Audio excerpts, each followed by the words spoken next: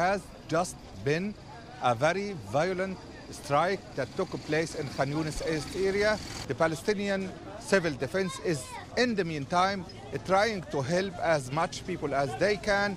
Right in front of me, just now, a few seconds ago, there was a child that was hit and his family was rushing to the emergency department because they were extremely worried about his safety. And every incident that takes place, children are affected, either killed or injured or left with a lifetime scars because of losing their family member. And this is the situation and this is how the, it un unfolds for the people in Gaza. The discussions are between the uh, mediators and the American administration and the Israeli government.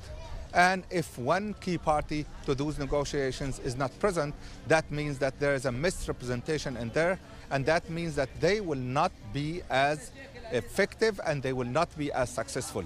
Of course, Hamas has been commenting on the situation that has been unfolding, the bombardments, the, the, uh, what they call the massacre in At-Tabi'in school, the assassination of Ismail Haniya, and all of those things together. And they have been saying that they are not likely to accept any more negotiation over the situation and that they are open to see a, timetable a schedule with all the details as to how can the agreements that were proposed by Mr. Biden and the American administration be translated into action.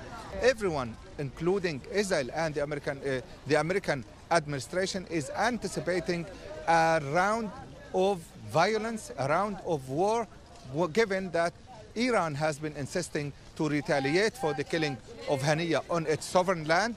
No much expected, and I think we are expecting also an escalation that can, that's going to be abrupt and that is going to be also regional.